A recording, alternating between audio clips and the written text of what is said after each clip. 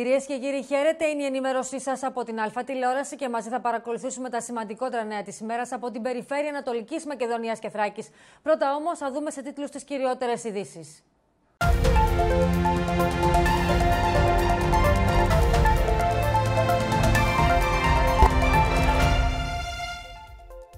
Την έντονη αντίδρασή τους στην είδηση της κατασκευής διοδίων στο Αρδάνιο του Εύρου εκφράζουν οι φορείς του νομού. Ξεσηκωμό στη Θράκη ενάντια στην ίδρυση νέας νομικής σχολής στην Πάτρα. Γιώργος Πετρίδης θα ασκώ τα καθήκοντά μου κανονικά μέχρι να παραδώσω στην επόμενη Δημοτική Αρχή. Εγώ, ο Σίμος Σιμεών, το νέο μυθιστόρημα του Γιάννη Ξανθούλη παρουσιάστηκε στην Αλεξανδρούπολη.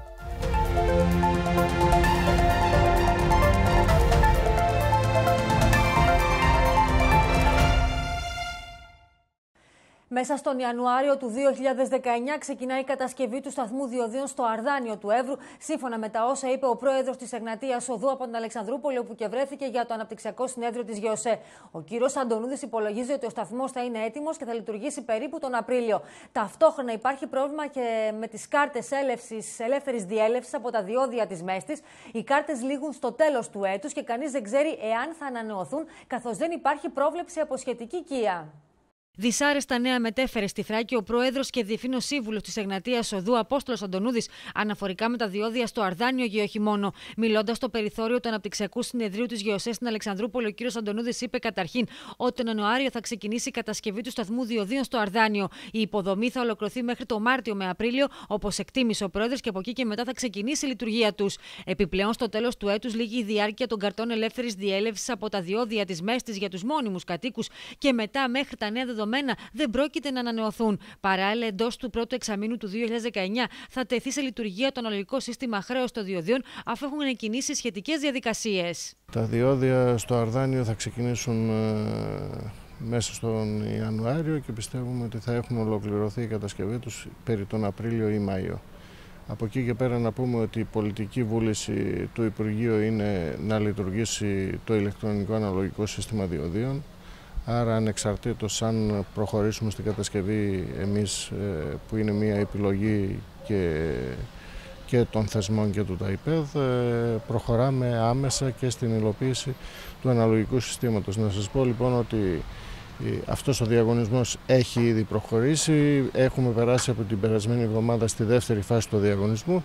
Άρα πιστεύουμε ότι θα υπάρχει τελικός ανάδοχος για το συγκεκριμένο έργο μέχρι το Μάιο του 2019, όπου αμέσως μετά θα αρχίσει η υλοποίησή του. Τώρα, όπως είπαμε, τον Ιανουάριο του 2019 ξεκινάει η κατασκευή και λειτουργία του σταθμού διοδίων στο Αρδάνιο του Εύρου. Ε, σύμφωνα με τα όσα είπε πριν από λίγες ημέρες από την Αλεξανδρούπολη ο κύριος Αντωνούδη, ο πρόεδρος της Εγνατίας ε, Οδού. Και από ό,τι αντιλαμβάνεστε, ένας νέος κύκλος ε, κινητοποίησεων αλλά και αντιδράσεων έχει ξεκινήσει στον Εύρο την έντονη αντίδρασή τους στην είδηση της κατασκευής και λειτουργίας διοδίων στο Αρδάνιο του Εύρου εκφράζουν οι φορείς του νομού. Πιο συγκεκριμένα, ο πρόεδρος της Εγνατία Οδού Απόστολος Αντωνούδης, ο οποίος και βρέθηκε στην Αλεξανδρούπολη προκειμένου να συμμετάσχει στο αναπτυξιακό συνέδριο της ΓΕΟΣΕ, μιλώντας στα μέσα μαζικής ενημέρωσης, δήλωσε πως η κατασκευή του σταθμού διοδίων στο Αρδάνιο θα ξεκινήσει μέσα στο Γενάρη, ενώ η λειτουργία του αναμένεται μέχρι τον Μάιο. Η είδηση έπεσε ως κεραυνός σε νεθρία και οι αντιδράσεις ήταν έντονες. Ο αντιπεριφερειακός Περιφερειάρχη Εύρου Δημήτρης Πέτροβιτς, αναφερόμενος στο ζήτημα, έκανε λόγο για ανακολουθία λόγων και πράξεων τόσο από το αναρμόδιο Υπουργό όσο και από το ΤΑΙΠΕΔ. Εμείς είχαμε θίξει το ζήτημα λέγοντας ότι δεν θα δεχτούμε κάτι τέτοιο. Μάλιστα, είχαμε κάνει την αντιπρόταση να λειτουργήσουν διόδια εφόσον είναι δέσμευση της κυβέρνησης προς τους δανειστές να λειτουργήσουν τα διόδια λίγο μετά το σταθμό των κήπων ή μεταξύ των τελωνίων των κήπων και του Αρδανίου. Είμαστε λοιπόν κάθετα αντίθετοι σε αυτή τη λογική. Πρέπει να σας πω ότι στις 16 Απριλίου του 19 εκδικάζεται στο Συμβούλιο της Επικρατείας προσφυγή της περιφέρειας κατά της λειτουργίας των διοδίων στη Μέστη. Περιμένουμε και αυτή την εξέλιξη. Ακούσαμε ότι η πρόθεση της Εγνατίας Οδού είναι να λειτουργήσουν ε, το σταθμό διοδίων στην περιοχή Αρδανίου. Θεωρούμε ότι πρέπει να σκεφτούν πολύ σοβαρά αυτά που εξαγγέλουν και αυτά που συζητούμε και ότι ο σταθμός αν θα λειτουργήσει θα πρέπει να είναι προ του Αρδανίου και μεταξύ Αρδανίου και Κήπων να μην επιβαρύνονται οι κάτοικοι του κεντρικού και βόρειου Εύρου με επιπλέον τέλη ίσπραξης. Επίσης πρέπει να τονίσω ότι είδατε πως καταργείται ε, το ατελές που υπήρχε στα διόδια της Μέστης για τους πολίτες. Αυτό είναι απαράδεκτο. Είναι απαράδεκτο γιατί θα έπρεπε να συμβεί αυτό εφόσον και μόνο υπάρξουν ηλεκτρονικά αναλογικά διόδια. Από τη μεριά του, ο Δήμαρχος Αλεξανδρούπολης Βαγγέλης Λαμπάκης επεσήμανε πως αυτό που μπορεί να κάνει είναι να ξεσηκώσει το λαό το Δήμο. Όμως θα προσκαλούσα, όπως είπε χαρακτηριστικά, να έρθουν και οι βουλευτές, ιδιαίτερα του ΣΥΡΙΖΑ, του Εύρου και της Ροδόπης και να βάλουν τα στήθη τους μπροστά. Γιατί οφείλουν να προασπίσουν τα συμφέροντα του λαού πάνω απ' όλα και πρώτα απ' όλα όταν διαπιστώνουν ότι οι πολιτικές της κυβέρνησης από την οποία το κόμμα τους προέρχεται είναι κόντρα σε αυτό που λέγεται συμφέρον του λαού. Παντού λοιπόν διόδια τι μπορεί να κάνει ένας δήμαρχος, τα πάντα και τίποτα. Τα πάντα υπό την έννοια ότι μπορεί να ξεσηκώσει τον κόσμο, το λαό του Δήμου. Και πολλοί λαοί Δήμων κάνουν μια τεράστια δύναμη. Όμως θα προσκαλούσα να έρθουν και οι βουλευτές, ιδιαίτερα του ΣΥΡΙΖΑ, και οι τρεις του Εύρου και οι υπόλοιποι της Ροδόπης, οι οποίοι είναι κυβερνητικοί ιδιαίτερα βουλευτές, και να βάλουν τα στήθια τους μπροστά.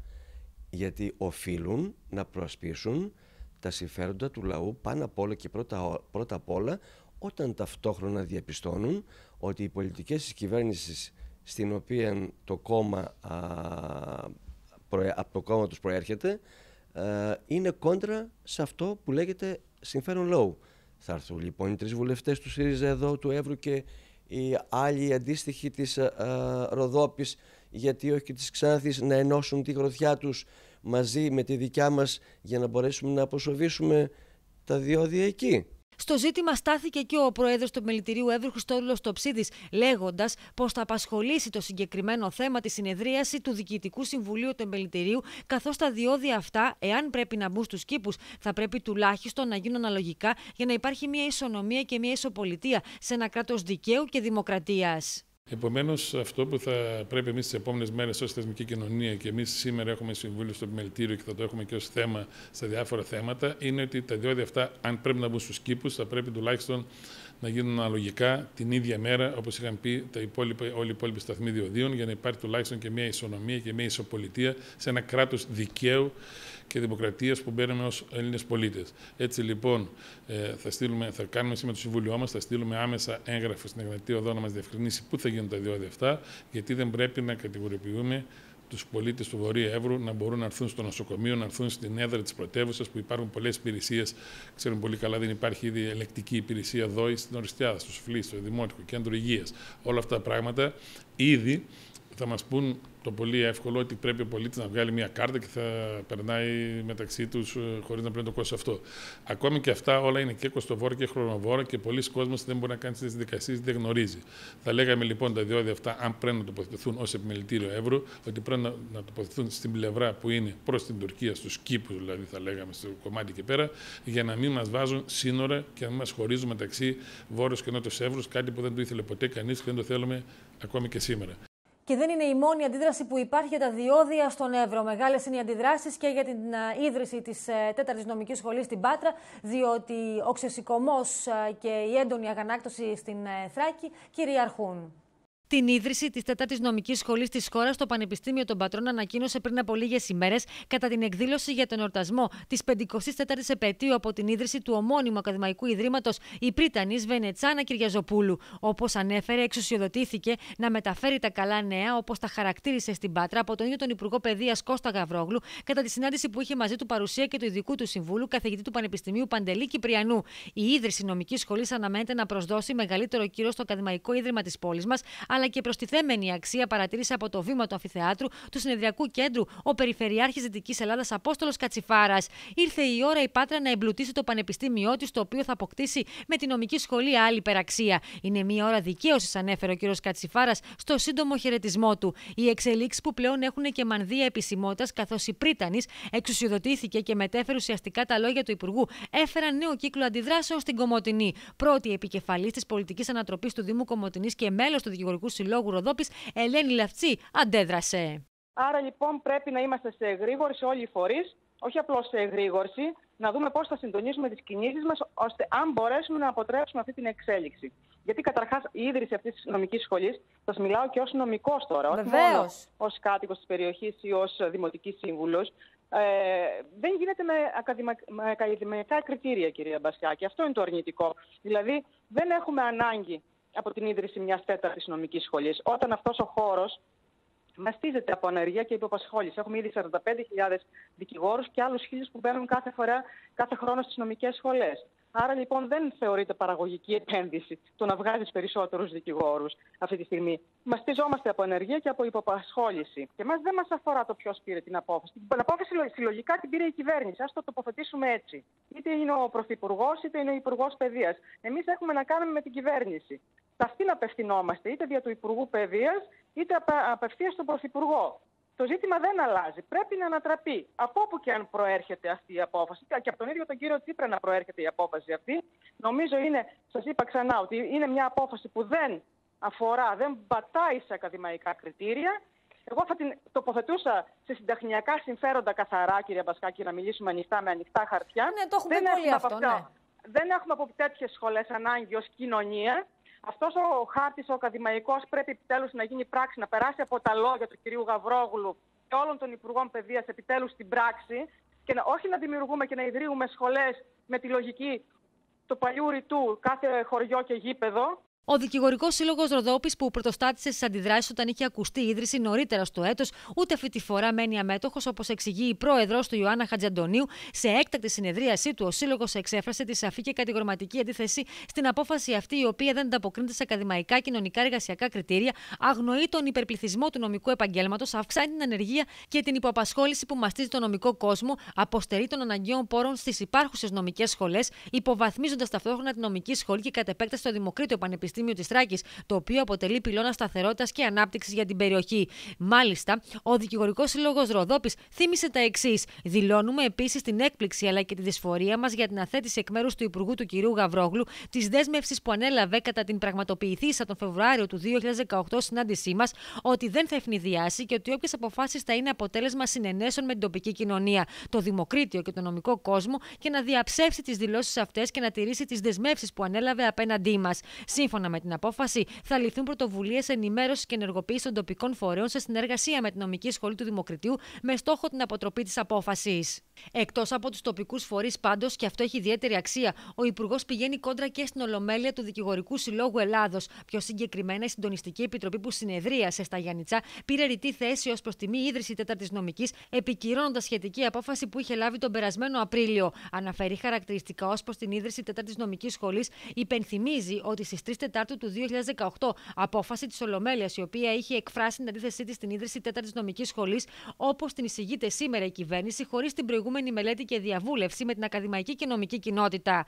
Την έκτακτη συνεδρίαση του Δημοτικού Συμβουλίου Κομωτινής ζήτησε από τη μεριά της με σχετική δήλωση η Δημοτική Σύμβουλος Σιμπέλ Μουσταφάογλου. Λίγο καιρό πριν τις εκλογές, η κυβέρνηση ΣΥΡΙΖΑ με πρωτοβουλία προσωπικά του κυρίου Τσίπρα ιδρύει η τέταρτη νομικής σχολής στην Πάτρα. Με κριτήρια μόνο ρουσφετολογικά καταγγέλει η κυρία Μουσταφάογλου και τονίζει ότι η νέα αυτή νομική σχολή υποβαθμίζει το Δημοκρίτιο Πανεπιστήμιο της Τράκης και καταδικάζει την περιοχή μας σε μεγαλύτερο μαρασμό. Το θέμα όμως φέρνει στη Βουλή και ο Ιλχάν Αχμέτ. Επίκαιρη ερώτηση κατατέθηκε από το βουλευτή Ροδόπης Ιλχάν Αχμέτ για το θέμα που αναζωπηρώθηκε. Να σημειωθεί ότι η ερώτηση για το ίδιο θέμα στο πλαίσιο του κοινοβουλευτικού ελέγχου είχε κατατεθεί και στις 28 Μαρτίου, αλλά μέχρι και σήμερα εκείνη η ερώτηση δεν απαντήθηκε ποτέ ή απαντήθηκε δια της σιωπής του κυρίου Γαβρόγλου. Με την επίκαιρη ερώτηση πλέον η ηγεσία του Υπουργείου Παιδείας καλείται ενώπιον της Ολομέλειας να ξεκαθαρίσει το ζήτημα και να δώσει απάντηση στο σύνολο των πολιτών της Ροδόπης και της Θράκης, αλλά και στο νομικό κόσμο της χώρας για τις πραγματικές προθέσεις και ποιοι οι πραγματικοί λόγοι που την οδηγούν σε μια τέτοια απόφαση. Το Πανεπιστήμιο, Δημοκρατικό Πανεπιστήμιο Θράκης δεν είναι ένα απλό πανεπιστήμιο που το υπερασπιζόμαστε και λέμε ότι επιστημονικώς δεν χρειάζεται να ιδρυθεί ένα άλλο πανεπιστήμιο στην Πάτρα. Δηλαδή, πέρα του κηρύματο, είναι ο πνεύμονας της Θράκης και είναι εκείνο το πανεπιστήμιο που έχει ιδρυθεί προκειμένου να δώσει ανάσα και επιστημονική και κανονική και βιωσιμότητα της περιοχής. Εδώ μιλάμε δηλαδή ότι η ύπαρξη και ο ανταγωνισμός του Πανεπιστημίου είναι σούπερ θέμα για την περιοχή μας. Και θέλω να σας πω το εξής. Αν και όλη η σύσσωμη ε, κοινωνία αντιδρά σε αυτό, αλλά όχι μόνο και η ακαδημαϊκή κοινότητα και το Δημοτικό και το Πανεπιστήμιο Θεσσαλονίκης, καθώς και το Πανεπιστήμιο Αθηνών, νομική σχολή, όλες δηλαδή οι μεγάλες νομικές σχολές και τα πανεπιστήμια λένε ότι η ίδρυση νομικής σχολής στην Πάτρα δεν έχει κανένα απολύτως επιστημονικό λόγο και γίνεται καθαρά για πολιτικούς και λαϊκίστικους λόγους. Μάλιστα ο κύριος κατά τη συνάντησή μας πριν από πέντε μήνες, όταν το πρώτο θέμα αναδείχθηκε, είπε, κοιτάξτε, εμένα το θέμα αυτό με υπερβαίνει. Μπράβο. Αυτή δηλαδή... την φράση είχε χρησιμοποιήσει κύριε Βουλευτά, ότι τον ίδιο το ζήτημα αυτό α, τον υπερβαίνει λέγοντας κατά μία έννοια ότι είναι μία απόφαση που έχει να κάνει με τον ίδιο τον Πρωθυπουργό, τον κύριο Τσίπρα. Ναι, τον Τσίπρα. Άρα τι είπα, ότι αυτή η απόφαση έχει καθαρά πολιτικά χαρακτηριστικά. Και εγώ θέλω να ρωτήσω τον κύριο Τσίπρα και έφερα την, ε, με επίκαιρη ερώτηση το θέμα στην Ελληνική Βουλή, τι έχει με τη Θράκη; Γιατί τόσο πολύ θέλει να μαυρίσει αυτή την περιοχή; Τι ζόρι τραβάει που λέμε εμείς οι Θρακιώτες επάνω; Γιατί αυτό το, αυτή η απάθεια, η αυτή η παραμέληση, αυτή η εγκατάλειψη που έχει υποστεί τη μεγαλύτερη οικονομική ζημιά και βρίσκεται σε αυτή την ακριτική περιοχή, τώρα έρχεται ο ίδιος ο Πρωθυπουργός με τη βούλησή του, με την ίδια του τη θέληση για μικρούς μικροκομματικούς λόγους, για 5-10 σταυρούς σε αυτή την περιοχή, να κάνει αυτό το εγχείρημα το οποίο σας λέω έγινε και χωρίς διάλογο Εν τω μεταξύ, σύμφωνα με τις πληροφορίες από την Βρυτανία του Πανεπιστημίου Πατρών, αρχικά θα ιδρυθεί μία μονοτμηματική σχολή, το πρόγραμμα σπουδών της οποίας θα καλύπτει και τις αλλαγές που έχει επιφέρει η τεχνολογία αστυνομική επιστήμη και εύλογα τους νέους τομείς που έχει δημιουργήσει. Σύμφωνα με τα υπάρχοντα δεδομένα, η σχολή θα δεχθεί τους πρώτους της φοιτητές το ακαδημαϊκό έτος 2020. Το κτίριο στο οποίο θα στεγαστεί αναμένεται να κατασκευαστεί με κονδύλια της περιφέρειας Δυτικής Ελλάδος, καθώς σχετική δέσμευση φέρεται να έχει αναλάβει ο Περιφερειάρχης Απόστολος Κατσιφάρα. Την απόφαση για τέταρτη νομική σχολή προανήγγειλε ο Υπουργός Παιδείας μετά από απόφαση του ίδιου του Πρωθυπουργού και όπως υποστήριξε, δεν πρόκειται να αυξηθεί ο αριθμός των εισακτέων στις τέσσερις πλέον νομικές σχολές, αλλά θα γίνει αναδιανομή στις τρεις υπάρχουσες. Η ίδρυση της σχολής θα ενταχθεί στο πλαίσιο της υποσυζήτηση απορρόφησης του ΤΕΙ Δυτικής Ελλάδας από το Πανεπιστήμιο Πατρών. Το Πανεπιστήμιό μας είναι το τρίτο μεγαλύτερο στη χώρα, χωρίς μέχρι τώρα να διαθέτει νομική σχολή, η οποία θα καλύπτει τη ζήτηση από τους νέους της Νοτιοδυτικής Ελλάδας. Επεσήμανε ανάμεσα σε άλλα η πρίτανη του Πανεπιστημίου, η κυρία Κυριαζοπούλου. Από την άλλη, όμως, τρία νέα τμήματα στην Κομωτινή, τρία επίσης στην Αλεξανδρούπολη, δύο στην Ξάνθη και ένα στην Ορεστιάδα, καθώς και δύο Ινστιτούτα στην Ξάνθη, δύο στην Αλεξανδρούπολη, ένα στην Κομωτινή και ένα στην Ορεστιάδα. Εισηγείται στη σύγκλιτο το Δημοκρίτιο Πανεπιστήμιο της Τράκης, το Πρετανικό Συμβούλιο του Ιδρύματος, προκειμένου η πρόταση να κατατεθεί ολοκληρωμένη στο Υπουργείο Παιδείας και στον κύριο Καβρόγλου. Την εισήγηση πρότασή του αναφορικά με τις νέες σχολές που θα πρέπει να διεκδικήσει το Δημοκρίτιο Πανεπιστήμιο της Τράκη από το Υπουργείο Παιδείας κατέθεσε υπόψη της συγκλήτου το Πριτανικό Συμβούλιο του Πανεπιστημίου. Η εισήγηση περιλαμβάνει τη δημιουργία τεσσάρων τμήματων για την περιοχή του Εύρου. Αναλυτικά, στη Σχολή Επιστημών Υγείας Αλεξανδρούπολης, τμήμα νοσηλευτικής στο Δημότυχο, τμήμα κτηνιατρικής, τμήμα διαιτολογίας και διατροφής, στη Σχολή Επιστημών Γεωπονίας και Δασολογίας της Ορεστιάδας, τμήμα Επιστήμης Τροφίμων και Ποτών, στην Πολυτεχνική Σχολή Ξάνθης, τμήμα αγρονόμων τοπογράφων μηχανικών και μηχανικών γεωπληροφορικής, τμήμα μηχανικών ορυκτών και φυσικών πόρων, στη Σχολή Επιστήμης Φυσικής Αγωγής και Αθλητισμού Κομωτινής, τμήμα εργοθεραπείας, στη Σχολή Κοινωνικών, Πολιτικών και Οικονομικών Επιστημών Κομωτινής, τμήμα Ψυχολογίας και τμήμα Εφαρμοσμένης Πληροφορικής. Επίσης, προτείνεται η ίδρυση Ινστιτούτου Νευροεπιστημών και Ινστιτούτου Αεροπορικής Ιατρικής στην Αλεξανδρούπολη, καθώς και Ινστιτούτου Τεχνολογίας Τροφίμων και Αγροτικής Παραγωγής στην Ορεστιάδα. Θέματα που αφορούν στο νέο πρόγραμμα ψηφιακού μετασχηματισμού του γεωργικού τομέα, την συμμετοχή αγροτών, φοιτητών, ερευνητών και επαγγελματιών του Εύρου, καθώς και ζητήματα συνεργασίας των δύο φορέων σε δράσεις και προγράμματα που αφορούν σε ψηφιακές τεχνολογίες, συζητήθηκαν στη συνάντηση εργασίας και συνεργασίας των τμήματων αγροτικής ανάπτυξης και δασολογίας με έδρα την Ορεστιάδα και του Υπουργείου Ψηφιακής Πολιτικής. Θέματα που αφορούν στο νέο πρόγραμμα ψηφιακού μετασχηματισμού του γεωργικού τομέα, τη συμμετοχή αγροτών, φοιτητών, ερευνητών και επαγγελματιών του Εύρου, καθώς και ζητήματα συνεργασίας των δύο φορέων σε δράσεις και προγράμματα που αφορούν σε ψηφιακές τεχνολογίες, συζητήθηκαν στη συνάντηση εργασίας και συνεργασίας των τμήματων αγροτικής ανάπτυξης και δασολογίας με έδρα την Ορεστιάδα και του Υπουργείου Ψηφιακής Πολιτικής. Ολοκληρώθηκε στο Υπουργείο Ψηφιακής Πολιτικής η συνάντηση εργασίας με αποτελέσματα πολύ ενθαρρυντικά μεταξύ του Κοσμήτερα της Σχολής Επιστημών Γεωπονίας και Δασολογίας Τεχνολογία του Δημοκρατίου του κ. Σπυρίδωνα Κουντρούμπα, του Γενικού Γραμματέα Ψηφιακής Πολιτικής του κ. Στέλιου Ράλη και της βουλευτή Εύρου του ΣΥΡΙΖΑ της κ. Αναστασίας Γκαρά. Κατά τη διάρκεια της σύσκεψης, χαρτογραφήθηκαν οι δυνατότητες συμμετοχής αγροτών, φοιτητών, ερευνητών και επαγγελματιών του Εύρου στο νέο πρόγραμμα του ψηφιακού μετασχηματισμού του γεωργικού τομέα, καθώς και επιμέρους θέματα συνεργασίας μεταξύ του Υπουργείου και της Σχολής του Δημοκρατίου Πανεπιστημίου της Τράκης Νορεστιάδα, προκειμένου να υλοποιηθούν δράσεις και προγράμματα ψηφιακής τεχνολογίας. Πιο συγκεκριμένα, το έργο αφορά στη δημιουργία μιας τεχνολογικής πλατφόρμας και υποδομής για την υποστήριξη του εξυγχρονισμού του γεωργικού τομέα, η οποία θα αντιμετωπίζει τα προβλήματα της υφιστάμενης κατάστασης και θα επιτρέπει την παροχή εξατομικευμένων περιβαλλοντικών δεδομένων και ενημερώσεων για τα αγροτεμάχια ανοιχτών καλλιεργειών με αξιοποίηση σύγχρονων τεχνολογιών πληροφορικής και επικοινωνιών. Η γεωργία ακριβίας ανοίγει νέους ορίζοντες για τον Έλληνα αγρότη που θα έχει δικαίωμα πρόσβαση σε αυτές τις υπηρεσίες για να βελτιώσει την παραγωγή του με φιλικές προς το περιβάλλον μεθόδους και να αυξήσει την αποδοτικότητα με λιγότερους πόρους. Η φύση του μετασχηματισμού που επέρχεται στον πρωτογενή τομέα της Ευρωπαϊκής Ένωσης, κυρίως λόγω της κλιματικής αλλαγής, αποτελεί μεγάλη πρόκληση και για τα δύο τμήματα της Σχολής Επιστημών Γεωπονίας και Δασολογίας που θα μπορούν να αναπτύσσουν υπηρεσίες αξιοποιώντας τα ασφαλή δεδομένα της δημόσιας υποδομής για την ψηφιοποίηση της ελληνικής γεωργίας. Όπου συζητήσαμε την ε, το πρόγραμμα της ψηφιακής γεωργίας, το οποίο θα προκηρύξει πρόσφατα το Υπουργείο ε, και, το οποίο, και στο οποίο θέλουμε να συμμετέχουμε και εμείς ως Πανεπιστήμιο. Αυτό το πρόγραμμα αφορά την ε, εγκατάσταση ενός μεγάλου δικτύου τηλεμετρικών σταθμών ανά την Ελλάδα σε αγροτεμάχια, από τα οποία θα συλλέγουν ε, δεδομένα και θα τα μεταδίδουν σε πραγματικό χρόνο. Πρόκειται για ένα μεγάλο δίκτυο τέτοιων σταθμών, από ό,τι μας είπε ο Γενικός Γραμματέας ανέρχονται περίπου σε 6.500 ε, ε, τέτοιες εγκαταστάσεις και όπως αντιλαμβάνεστε είναι κάτι πολύ σημαντικό γιατί εισάγει την ψηφιακή γεωργία, τη χρήση της ψηφιακής γεωργίας, ε, της ψηφιακής τεχνολογίας στη γεωργία. Εμείς ως Πανεπιστήμιο που διακονούμε την επιστήμη της γεωπονίας και της δασολογίας θέλουμε να είμαστε μέσα σε αυτά τα πράγματα, στις εξελίξεις αυτές, ε, και συζητήσαμε τους τρόπους με τους οποίους μπορούμε να βοηθήσουμε και να υποφεληθούμε και εμείς ως Πανεπιστήμιο αλλά και η ευρύτερη ε, κοινωνία, η αγροτική, οι αγρότες της περιοχής μας. Αυτό είναι ένα πολύ σημαντικό έργο γιατί στην ουσία μας δίνει ένα πρόσθετο εργαλείο, πολυχρηστικό θα έλεγα, με την έννοια ότι θα έχουμε μια ακτινογραφία των αγροτεμαχίων της Ελλάδος και μας βοηθάει, όπως καταλαβαίνετε, να παίρνουμε αποφάσεις που αφορούν τις καλλιέργειες, ε, γρήγορα, εύκολα, αλλά κυρίως σωστές αποφάσεις.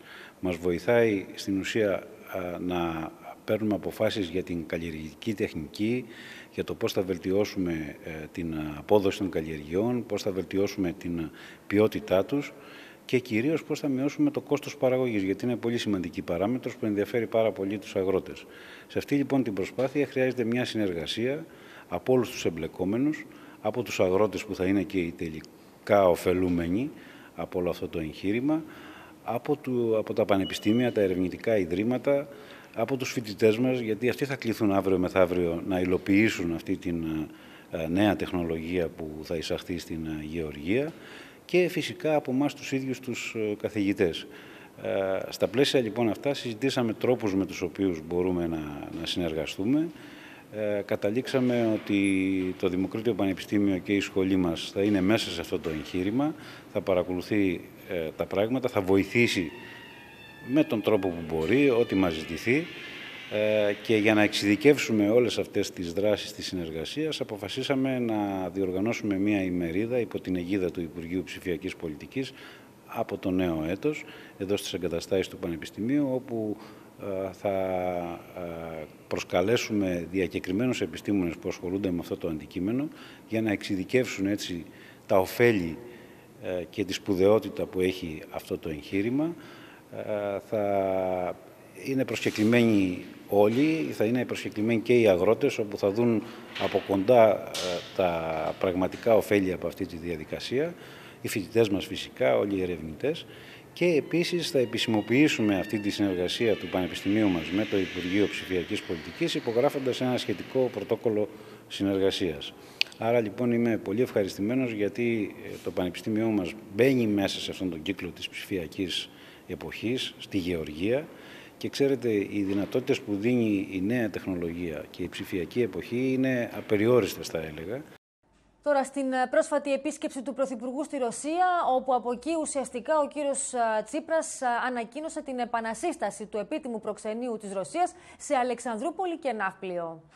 Ένα νέο κεφάλαιο φαίνεται πως ανοίγει στις ελληνορωσικές σχέσεις μετά από την επίσκεψη του Πρωθυπουργού και του Υπουργού Εξωτερικών στη Μόσχα. Η συνάντηση που έγινε στο Κρεμλίνο ανάμεσα στον Αλέξη Τσίπρα και στον Βλαντιμίρ Πούτιν διεξήχθη σε πολύ καλό κλίμα, με τα μαύρα σύννεφα της απέλασης των Ρώσων διπλωματών από την Ελλάδα να φαίνεται πως διαλύονται. Ο Αλέξης Τσίπρας αναφέρθηκε για μία ακόμη φορά στην Αλεξανδρούπολη, η οποία, όπως είπε, μπορεί να αποτελέσει συνδετικό κρίκο για την ενίσχυση των ελληνορωσικών σχέσεων. Η επανασύσταση του επίτιμου προξενείου της Ρωσίας σε Αλεξανδρούπολη και Ναύπλιο θα συμβάλλουν στην ενίσχυση των σχέσεων των δύο χωρών, τόνισε ο Πρωθυπουργός.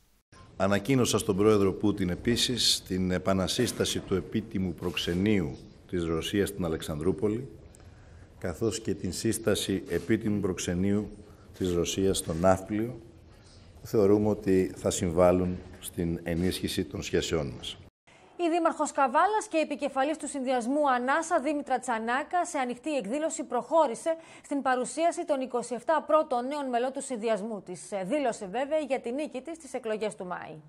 Είμαι ιδιαίτερα περήφανη που τέτοιοι άνθρωποι όπως αυτοί που θα σας παρουσιάσω σήμερα, όπως εσείς αγαπητοί μου φίλοι, όχι μόνο κάνουν το δύσκολο αυτό βήμα να ασχοληθούν με τα κοινά του Δήμου μας, αλλά και να στηρίξουν τη συλλογική προσπάθεια του συνδυασμού μας, καθώς και μένα προσωπικά, ώστε στις επόμενες εκλογές να είμαστε εμείς αυτοί τελικά που θα κερδίσουμε ξανά την εμπιστοσύνη των συνδημοτών μας. Είμαι πολύ χαρούμενη απόψε. Παρουσίασα τα πρώτα 27 άτομα από την ομάδα, καινούριες φάτσες, νέα παιδιά, μέσος όρος ηλικίας 42 χρονών και νομίζω χωρίς πολλές παρτίδες και σχέση με κομματικές καταβολές, άνθρωποι της αγοράς τα πιο πολλά, επιστήμονες τα πιο πολλά και είμαι πολύ πολύ περήφανη για αυτά τα παιδιά τα οποία θα πλαισιώσουν τους παλιούς πια και οι δυο μαζί θα δουλέψουν για το μέλλον. Τώρα για το προεκλογικό τοπίο έτσι όπως έχει διαμορφωθεί μέχρι και σήμερα στο Δήμο της Κομωτινής μιλά ο νυν δήμαρχος ο κύριος Πετρίδης. Ο Δήμαρχος Κομωτινής Γιώργος Πετρίδης, μετά την απόφαση που πήρε να μην κατέλθει εκ νέου ως υποψήφιος Δήμαρχος, σχολιάζει το σκηνικό όπως μέχρι στιγμής έχει διαμορφωθεί για τις αυτοδιοικητικές εκλογές του Μαΐου και τις πολλές υποψηφιότητες που έχουν προκύψει με νέα αλλά και πρόσωπα από το παρελθόν, θέλοντας να διεκδικήσουν το δημαρχιακό θόκο της Κομωτινής. Η αποχώρησή του από το Δήμο και από την εκλογική αναμέτρηση σίγουρα άλλαξε τις ισορροπίες και άνοιξε τις ωρέξεις σε πολλούς. Ωστόσο, όπως ο ίδιος λέει και στο Δήμο Παγκυρτζάκης, στο ράδιο Χρόνος, αυτό δεν σημαίνει πως έχει σταματήσει να να σχεδιάζει, να εργάζεται, να διεκδικεί και να προσφέρει στο Δήμο και στους δημότες του. Αντιθέτως, με ακόμη περισσότερη διάθεση και αγωνιστικότητα, ασκεί τα καθήκοντά του, κάτι που θα κάνει μέχρι να παραδώσει το Δήμο στην επόμενη δημοτική αρχή. σα ίσα τους έχω ανεβάσει τους ρυθμούς μου. Ε, γιατί, για δύο λόγους. Ο πρώτος είναι ότι θέλουμε και εγώ και οι συνεργάτες μου να κλείσουμε και να παραδώσουμε ό,τι μπορούμε περισσότερο μέχρι τη λήξη mm-hmm. της θητείας και είναι λογικό αυτό Δεύτερον, να ε, μην δώσουμε σε κανέναν την ε, δυνατότητα, κακόβουλο, γιατί μόνο ένας κακόβουλος μπορεί να το πει αυτό, ότι δεν ενδιαφέρομαι σε ό,τι με αφορά εμένα, δεν ενδιαφέρομαι για το Δήμο και την πόλη μου, επειδή δεν θα είμαι ξανά υποψήφιος. Ξέρετε, εγώ δεν μπήκα στην αυτοδιοίκηση για να είμαι συνέχεια υποψήφιος και το απέδειξα. Οι εξελίξεις, κατά την άποψή μου, κατά τη δική μου προσέγγιση, ήταν αναμενόμενες πλην της ε, έκπληξης του Τάσου του Βαβατσιλή. Επειδή με ρωτήσατε για Αν ήσταν εσείς υποψήφιος, θα έκανε την κίνηση του Αυτό πρέπει, πρέπει να ρωτήσετε τον ίδιο γι' αυτό. Ε, όποτε μας σηκώσει το τηλέφωνο θα το ρωτήσουμε. Γι' αυτό θα ρωτήσετε. Εγώ όμως θέλω να πω ότι τον mm-hmm. Τάσο τον Βασιλή τον τιμώ. Mm-hmm. Έτσι. Και δεν, δεν θα μπορούσε να είναι διαφορετικά, διότι συνεργαστήκαμε 8 χρόνια. Ήταν δήμαρχός μου για 4 χρόνια. Ε, με σεβάστηκε και τον σεβάστηκα και νομίζω ότι έχει αφήσει και ένα αποτύπωμα στην πόλη το οποίο ε, μπορεί να αξιολογηθεί για εκείνη την περίοδο στην οποία και ως αντιδήμαρχος και ως δήμαρχος λειτουργήσε θετικό. Από εκεί και πέρα η επιλογή του μπορεί να ευνηδίασε πολλούς και εμένα με ευνηδίασε, αλλά είναι μια σεβαστή επιλογή Και στον κύριο Παπατσικλή θα σταθούμε για λίγο ακόμα. Για τον Δήμο υπογράφουμε ένα πρωτόκολλο τιμής για το πώς βλέπουμε την τοπική αυτοδιοίκηση και τι θα κάνουμε. Δεν έχω τη φιλοδοξία να είμαι δήμαρχος μέχρι τα 80. Θέλουμε όμως να δημιουργήσουμε μια διάδοχη κατάσταση από νέους ανθρώπους. Επιστροφή λοιπόν στην πολιτική ήταν το σύνθημα που αναγραφόταν στην εικόνα με την οποία επέλεξε να κοινοποιήσει προς τα τοπικά μέσα μαζικής ενημέρωσης την ανακοίνωση της νέας του υποψηφιότητας για τον Δήμο Κομωτινής, ο πρώην Δήμαρχος, ο κύριος Τάσος Βαβατσικλής. Για τον Δήμο υπογράφουμε ένα πρωτόκολλο τιμής για το πώς βλέπουμε την τοπική αυτοδιοίκηση και τι θα κάνουμε. Δεν έχω τη φιλοδοξία να είμαι δήμαρχος μέχρι τα 80. Θέλουμε να δημιουργήσουμε μια διάδοχη κατάσταση από νέους ανθρώπους. Επιστροφή στην πολιτική ήταν το σύνθημα που αναγραφόταν στην εικόνα με την οποία επέλεξε να κοινοποιήσει προς τα τοπικά μέσα μαζικής ενημέρωσης την ανακοίνωση της νέας του υποψηφιότητας για το Δήμο Καβάλας, ο πρώην Δήμαρχος Τάσος Βαβατσικλή.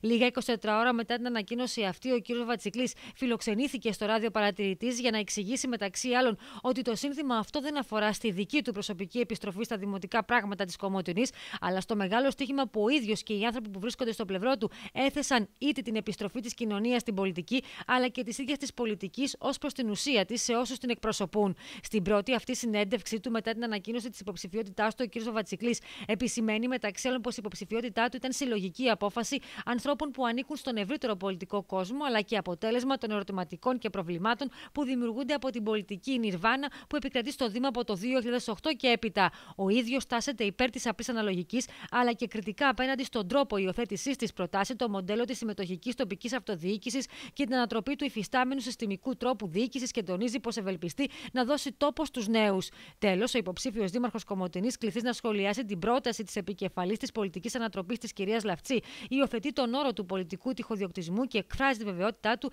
για μια καρποφόρα σε επίπεδο πολιτικής θητείας μέσα από τον πολιτικό λόγο και τις αντιπαραθέσεις υψηλού επίπεδου που θα ακουστούν και από τους συνυποψηφίου του. Η απόφαση ήταν συλλογική, δεν ήταν αυτή καθεαυτή δική μου. Έχουμε μια μεγάλη παρέα του ευρύτερου πολιτικού κόσμου, στο οποίο συμμετέχουν άνθρωποι της συντηρητικής παράταξης, αλλά και άνθρωποι της κομμουνιστικής αριστεράς. Όλα αυτά τα βάλαμε στο τραπέζι, τα συζητήσαμε και μάλλον ήμουν ο πιο διαθέσιμος, ο πιο εύκαιρος να ηγηθώ αυτής της προσπάθειας και ο κλήρος έπεσε στον γενναίο. Εκτός από την επικοινωνία και εκτός το ότι δεν αθρώνεται πολιτικός λόγος, υπάρχει και μια κρίση κρίση στην Ελλάδα. Εγώ την τοποθετώ από το 2008 από την κρίση που συνέβη στην Αμερική και απόνερα έπιασαν και στην Ευρώπη, κατά την οποία το αυτοδιοικητικό κίνημα δεν αρθώνει πλέον όχι μόνο πολιτικό λόγο, αλλά ούτε καν αυτοδιοικητικό. Όλα αυτά συνέτειναν ώστε αυτή η παιδική συμμορία να θελήσει να έχει πολιτικό λόγο και να καταθέσει απόψεις στις επόμενες εκλογές και η θέληση προκύπτει από το γεγονός ότι τα πράγματα, ειδικά για την Κομωτινή, δεν πάνε παραπέρα. Εκτός από τη διαχείριση, είχαμε ένα πολιτικό νιρβάνα. Προσπαθούσαμε να βρούμε κάποια επίπεδα επικοινωνίας αυτό το διαπίστωσα επισκεπτόμενος κάποιου από τους οικισμούς του Δήμου. Οι άνθρωποι αυτοί είχαν να δουν θεσμικό παράγοντα, είτε δήμαρχο, είτε αντιπεριφερειάρχη, είτε περιφερειάρχη βουλευτή χρόνια. Τα ερωτηματικά τους δεν ήταν τι θα κάνουμε στη Δημαρχία, αλλά τι θα γίνει με αυτήν τη χώρα. Ανέφερε χαρακτηριστικά ο κύριος Βατσικλής. Αυτά λοιπόν είπε ο κύριος Παπατσικλής σε μια συνέντευξη εφόλης της ύλης που έδωσε στον παρατηρητή της Θράκης. Στην Καβάλα τώρα πάμε κυρίες και κύριοι, διότι έγινε η συνεδρίαση της Νομαρχιακή Επιτροπής του Κινήματος Αλλαγής και μάλιστα πραγματοποιήθηκε με διευρυμένη σύνθεση. Αφού λοιπόν συζητήθηκαν και άλλα ζητήματα που αφορούν την πολιτική επικαιρότητα, η Νομαρχιακή Επιτροπή αποφάσισε ομόφωνα να εισηγηθεί στήριξη στον υποψήφιο δήμαρχο Καβάλα Θεόδωρο Μουριάδη.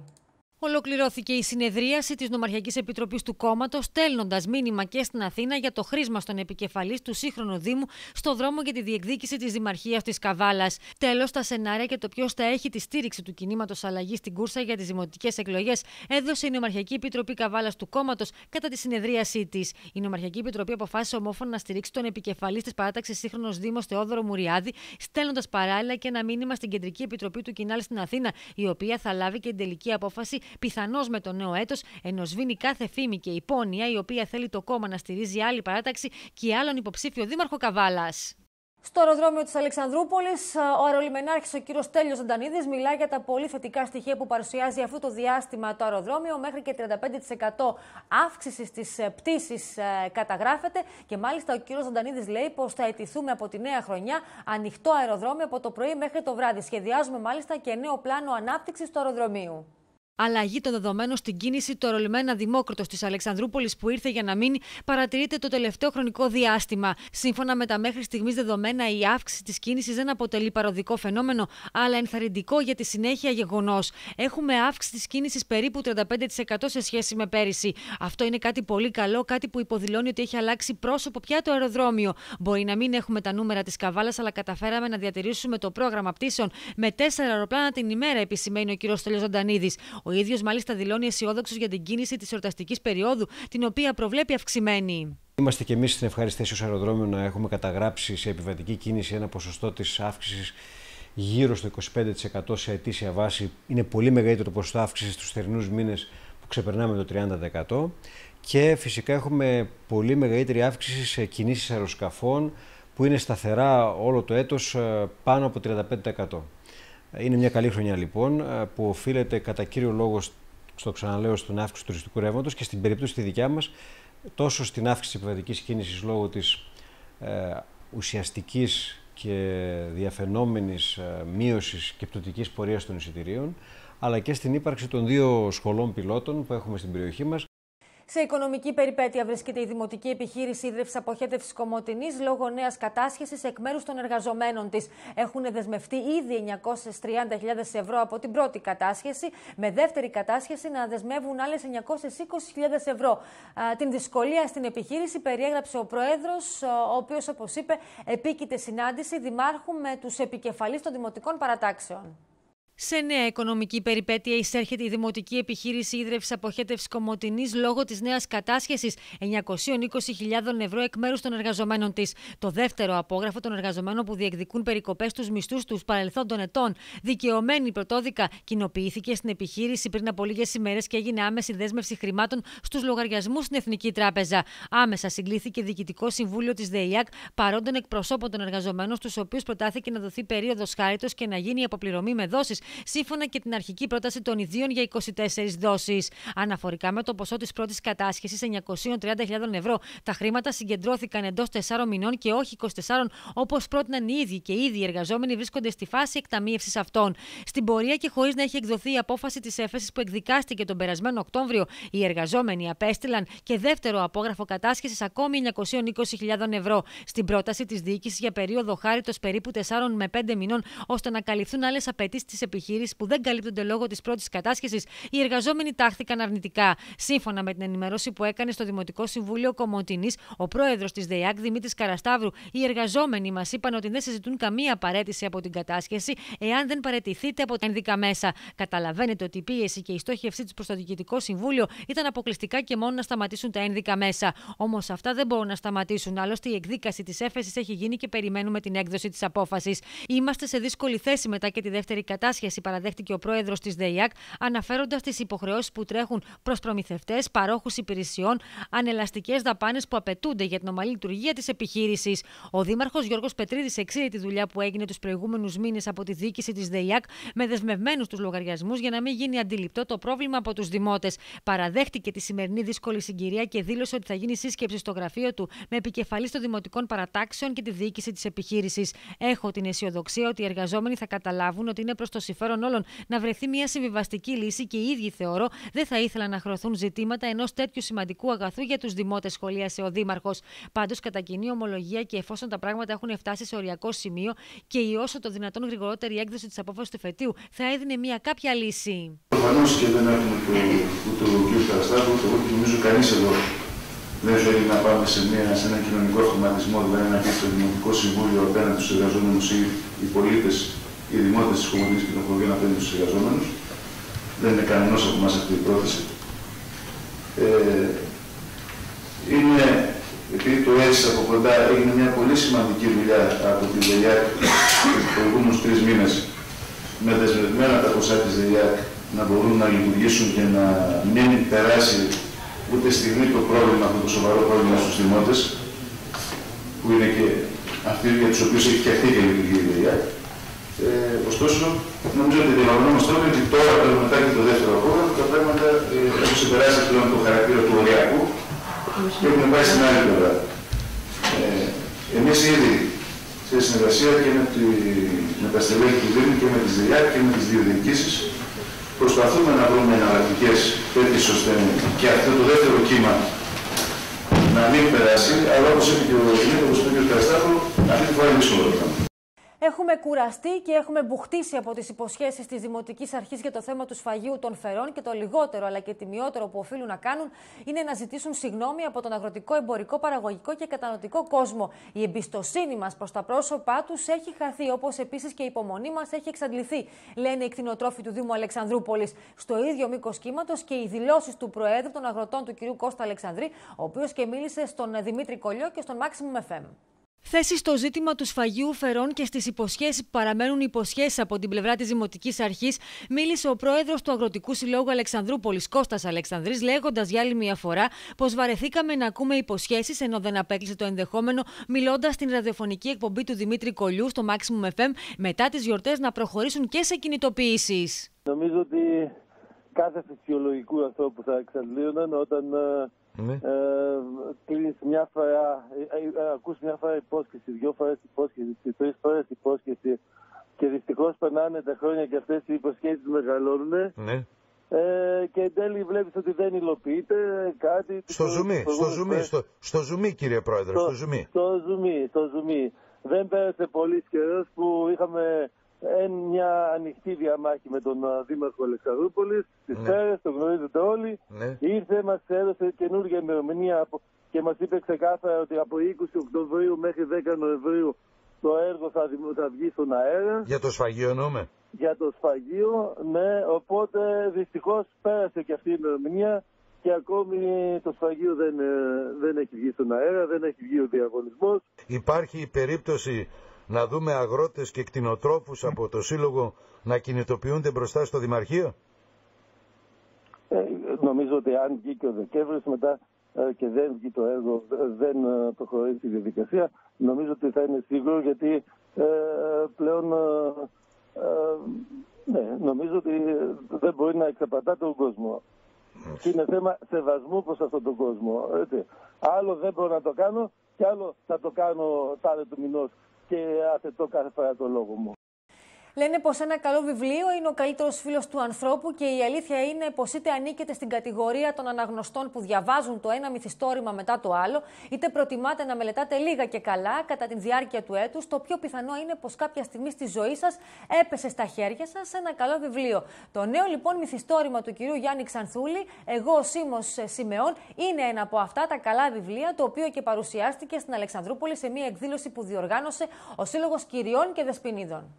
Ο Γιάννης Ξανθούλης μας μεταφέρει πίσω στην Ελλάδα της δεκαετίας του 60 σε μια καθημερινότητα από καιρό ξεχασμένη, τότε που κυριαρχούσε η πίστη και η ελπίδα σε ένα καλύτερο μέλλον. Ο Σίμω Σιμεών είναι ένα χαρισματικό 11χρονο αγόρι, νόθος γιος μιας φιλάσθενης μητέρας που ζει μαζί με τη μητέρα του και τις τέσσερις αδερφές της στο ασφικτικό περιβάλλον μιας επαρχιακής κομμόπολη κάπου στη Μακεδονία. Ο πανέξυπνος Σίμω, καθώς μεγαλώνει και παρατηρεί τον κόσμο, αντιλαμβάνεται πολύ γρήγορα πως πρέπει να αναπτύξει ειδικές ικανότητες και ξεχωριστές άμυνες για να καταφέρει να επιβιώσει σε αυτό το προστατευτικό περιβάλλον όπου κυριαρχούν τα ψέματα, το υποκριτικό ενδιαφέρον, τα κουτσομπολιά και άλλα πολλά στερεότυπα της επαρχίας. Τα πιο δυνατά σημεία της άμυνάς του είναι η φιλομάθεια, η αγάπη του για τα βιβλία και η εκπληκτική του φαντασία που πολύ συχνά τον κάνει να έρχεται σε κόντρα με τη στενομυαλιά της οικογένειάς του. Ο Σίμω για να αντιμετωπίσει την πεζή καθημερινότητα φαντάζεται πως στην πραγματικότητα δεν είναι αληθινός, δεν υπάρχει. Ολόκληρη η ζωή του είναι μια θρεβευτική επινόηση ενός ταλαντούχου συγγραφέα. Ωστόσο, η ζωή που έχει επιλέξει ο συγγραφέας για αυτόν δεν του αρέσει. Ο ήρωας επιθυμεί να ανοίξει τα δικά του φτερά και να ζήσει μια ζωή αντάξια των δικών του ονείρων.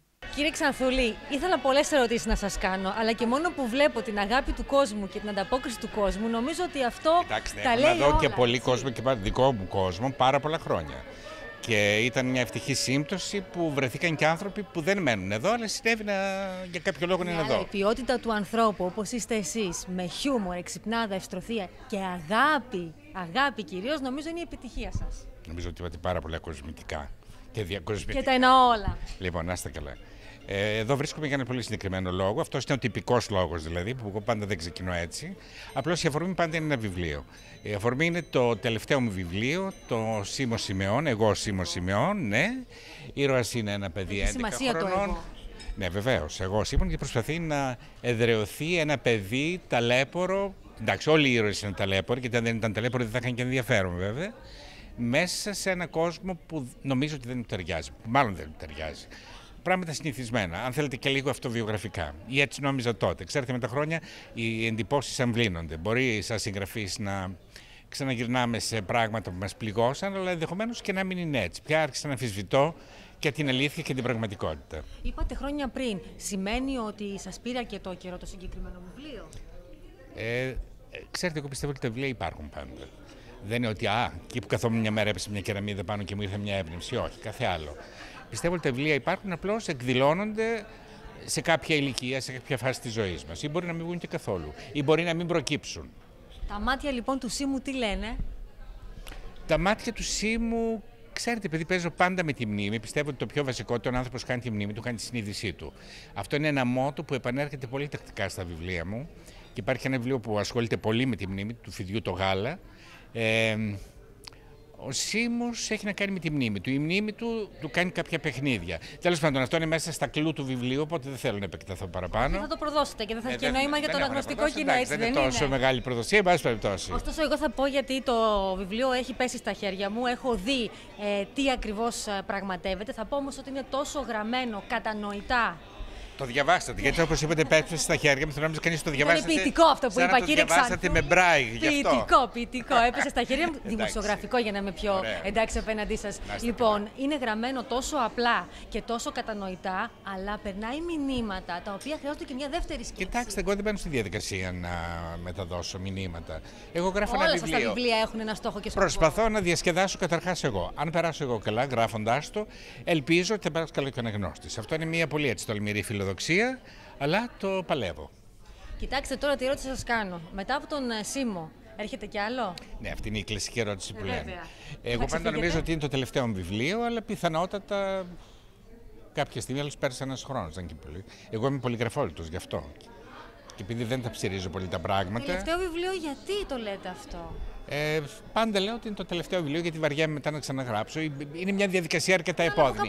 Είναι όπως οι γυναίκες που λένε: δεν θα κάνω άλλο παιδί. Καταλάβατε. Και μετά έρχεται το παιδί και λένε: Το αστείλω Θεός. Ο Σίμω σημειώνει μια περιπλάνηση στην επαρχία της δεκαετίας του 60 σε μια Ελλάδα που ζει γεμάτη ελπίδα και όνειρα. Η διάχυτη αισιοδοξία θα μετατραπεί σε φιάλτη μόλις τρία χρόνια μετά. Ο Γιάννης Ξανθούλης με το αμίμητο ύφος και την πνευματόδη γλώσσα παρακολουθεί την καθημερινότητα της παράξενης οικογένειας, δίνοντας έμφαση στις κομικοτραγικές καταστάσεις, εκείνες που καθόρισαν κατά κάποιο τρόπο το ελληνικό στίγμα της εποχής εκείνης, αλλά και τις αυταπάτες που ακολούθησαν και μας ταλανίζουν μέχρι και σήμερα.